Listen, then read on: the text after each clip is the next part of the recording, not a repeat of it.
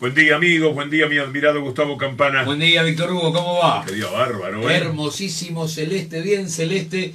El cielo de San Telmo Montserrat, sol a pleno, 17.6 y una máxima para hoy de 24. Viste cuando uno se agranda y llega a cualquier lado y dice, les traje el buen tiempo. Eh, sí, señor. ¿Eh? Porque mirá qué día viene a saludar el reencuentro con Buenos Aires. Aunque ayer hubo capítulos apasionantes de volver a la ciudad. Les voy a contar más adelante, porque ahora ya estamos en marcha con esa música de los gorilas.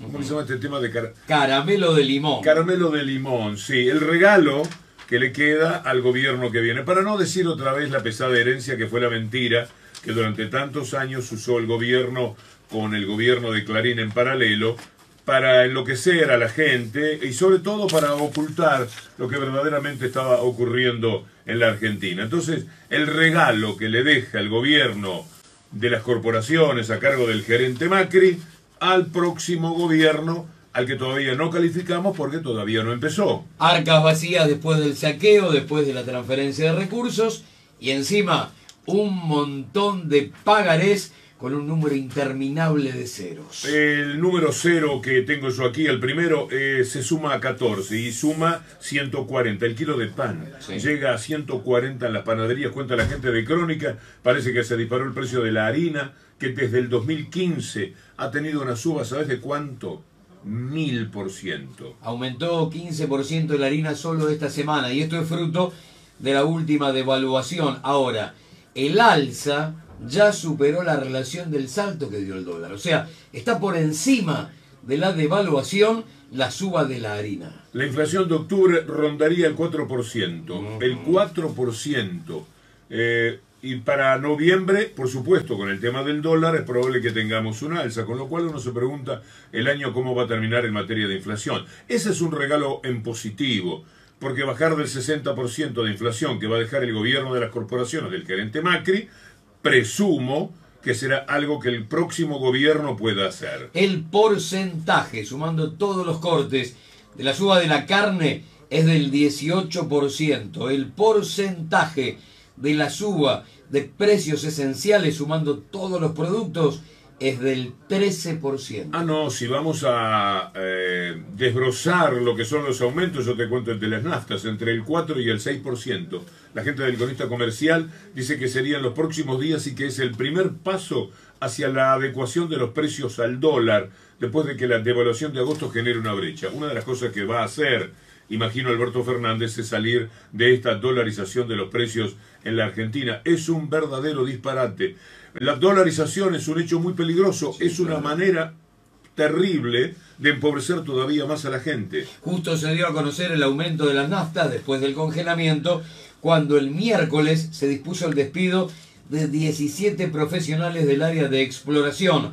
Aumentos y despidos en materia de combustibles. La gente saca a los chicos de la escuela privada y también da de baja las prepagas. Las prepagas están en una situación verdaderamente muy complicada. Para ellos hay un problema terrible con la compra de insumos en el precio dólar y para la gente una imposibilidad cierta de pagar las prepagas, por lo cual cientos de miles de personas se están quedando afuera de las prepagas y van a la salud pública que también está muy desatendida. ¿Qué pasa con la salud en la Argentina? Este sí que es un tema importante y de los primeros que hay que intentar recuperar. Ahora es el aumento octavo del año.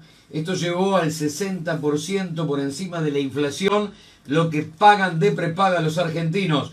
5% en febrero, 7.5 en mayo, 17.5 en julio, agosto y septiembre. 4 en octubre, 4 en noviembre, 12 en diciembre. Estamos hablando del regalo que le deja el gobierno de las corporaciones a cargo del gerente Macri al próximo gobierno. Es un verdadero regalo. Mirá lo de los celulares. Vuelven a subir en noviembre debo ser uno de los pocos personajes a los que no le importa que suban los celulares. Total, yo no uso. ¿Qué va a pasar con el transporte, con la luz y con el gas? Pero lo de los celulares, que se ha convertido, lo hicieron, un elemento fundamental de la vida de las personas. Ciertamente la gente está más casada, más hermanada y más hijada con un celular que con el resto de los familias. Es una cosa tremenda lo que sucede. Bueno, es un hábito, es parte de la calidad de vida de la modesta calidad de vida que sigue aspirando la gente a tener el celular para informarse, para llamar, para que te llamen. Yo creo que es un elemento eh, de relativa esperanza. Algún llamado va a venir para cambiarte la vida y se va a convertir en algo positivo. A veces eh, psicológicamente juego por ese lado cuando veo tan tal dependencia que se tiene del celular. Pero la cuestión es que vuelve a subir. La planta papelera de, de Ledesma en San Luis cerró después de 11 años. Preparaban papel para revistas y libros.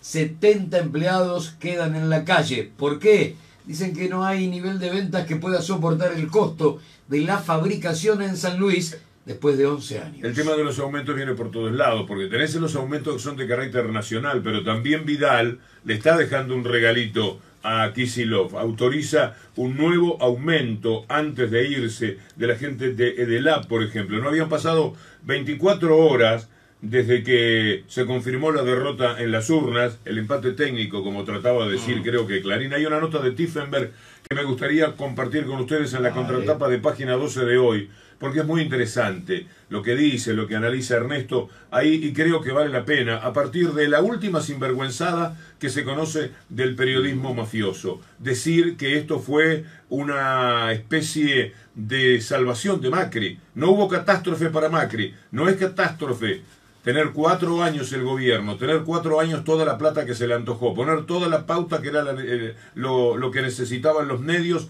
para apoyarlo permanentemente. No, no es una catástrofe perder cuando vos tenés el caballo del comisario y te sacan ocho cuerpos, que a lo mejor son diez cuerpos de ventaja en el momento del fotochar, como dicen mm. los burreros. No, parece que pasó inadvertido. No es eh, interesante ver que el kirchnerismo al que dio Clarín tantas veces por muerto a través de sus escribas o de sus voceros, tantas veces lo mataron, tantas veces revivió y ahora es el gobierno de la República Argentina otra vez. No les alcanza con todo eso y, por supuesto eh, lo que va a quedar es tierra arrasada para cuando venga el próximo gobierno sin que ellos hayan denunciado nada de lo que sucedió. Por, por eso es que la gente salvo lo de las 7.50, estimo yo, recién se están desayunando de todos los problemas que hay para la Argentina. La cuestión es que Vidal autorizó un nuevo aumento. Les estaba leyendo esta noticia. No habían pasado 24 horas desde que se confirmara la derrota en las urnas cuando el gobierno de María Eugenia Vidal autorizó un nuevo aumento de las tarifas eléctricas para los usuarios de las distribuidoras Edelab, EDEA, EDEN y EDES. Argentina tuvo la mayor baja interanual durante el primer semestre del salario mínimo real, 17.4. En la actualidad, dos salarios mínimos no alcanzan para sacar a una familia tipo de la pobreza.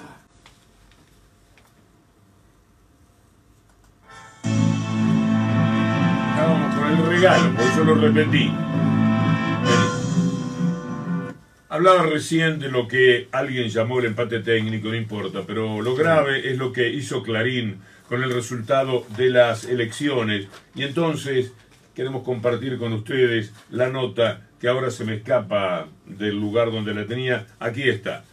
Del empate técnico de fulano de tal, un periodista, la catástrofe de Macri, la operación mediática para cambiar el resultado de las elecciones. Es una nota de Resto Tiffenberg hoy en página 12 que empieza diciendo quién fue el que hizo punta con el tema en la misma noche de las elecciones, al parecer, hablando de un empate técnico, pero en la misma línea, fíjate que ya había otra gente haciendo el mismo esfuerzo.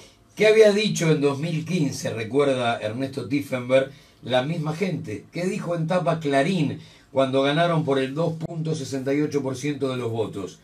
Fin de ciclo kirchnerista. Marcaba el entierro del kirchnerismo una derrota de 2.68. Ni triunfazo de Alberto ni catástrofe de Macri, tituló Clarín ahora. Jugando a dos puntas, porque de vez en cuando parece que se muestra condescendiente con el futuro gobierno por si lo puede cooptar.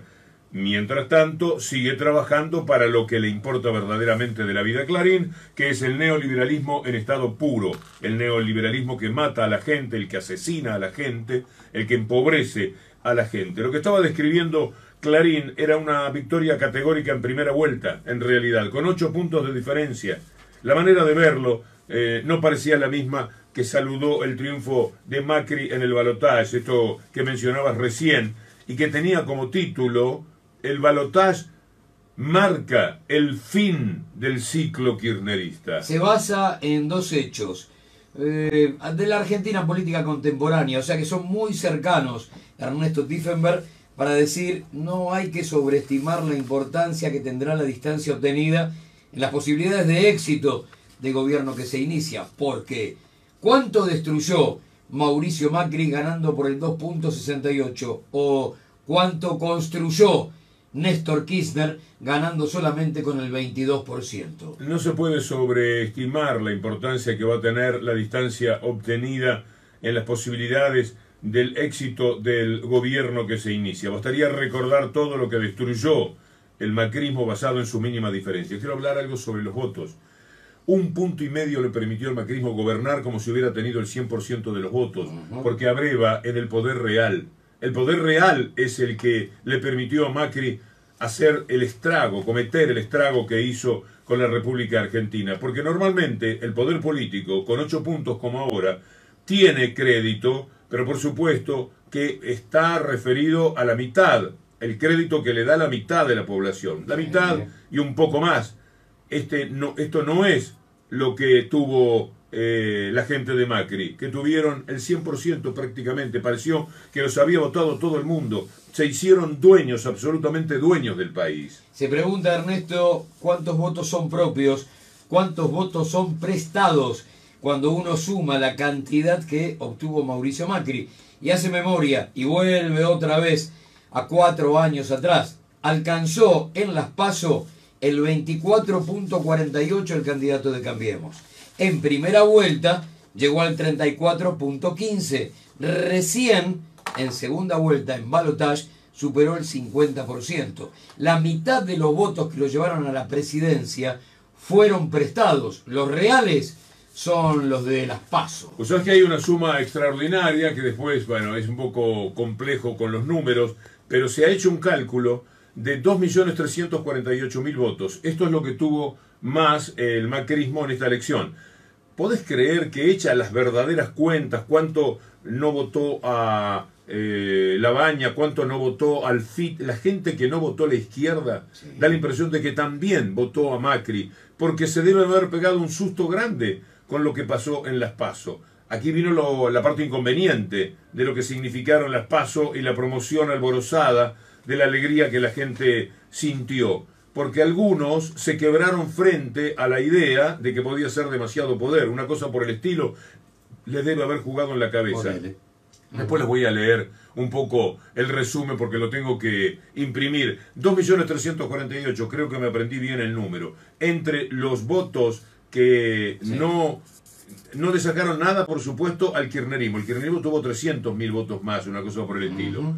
Pero todos los demás se volcaron a Macri y por eso la diferencia es al parecer de 10 puntos, ojo, que estamos hablando de 8, que me parece estimable diferencia, pero van a llegar a 10 seguramente cuando hagan el recuento.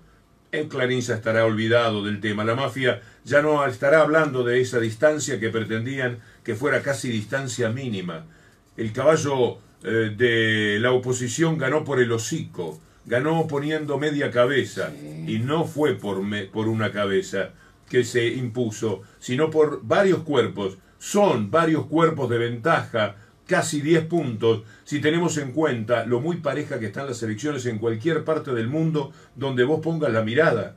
Son muchos, 8 puntos, si vos pensás cómo están 50 y 50 prácticamente las elecciones en cualquier lado. Pensá que hay países como España, como Italia, a los que les cuesta armar gobierno, justamente porque no tienen ese tipo de mayoría. Pensá cómo le fue a Evo, que ganó por 10 puntos y unas monedas, que fueron las que le permitieron ser reelecto en el gobierno. Pero la diferencia no fue la que Evo se merece después de todo lo que ha hecho. Está muy dividida la cosa entre izquierda y derecha. Hay una derecha fuerte y hay que entenderlo definitivamente así, porque tienen todo el poder concentrado y esto es internacional la globalización, el poder es global. El poder no es de lo nacional, ya en el mundo. El poder es global, como dice Sigmund Bauman en Daños Colaterales, libro del que hoy les quiero leer una parte cuando hablemos de la pobreza. Lo que dice Tiffenberg sobre el final, en la contratapa de página 12, es que el triunfo de Fernández fue absolutamente contundente. Y esa contundencia, alrededor del 49% por ahora, otorga garantía de gobernabilidad. Es la frase final que destruye el título, empate técnico.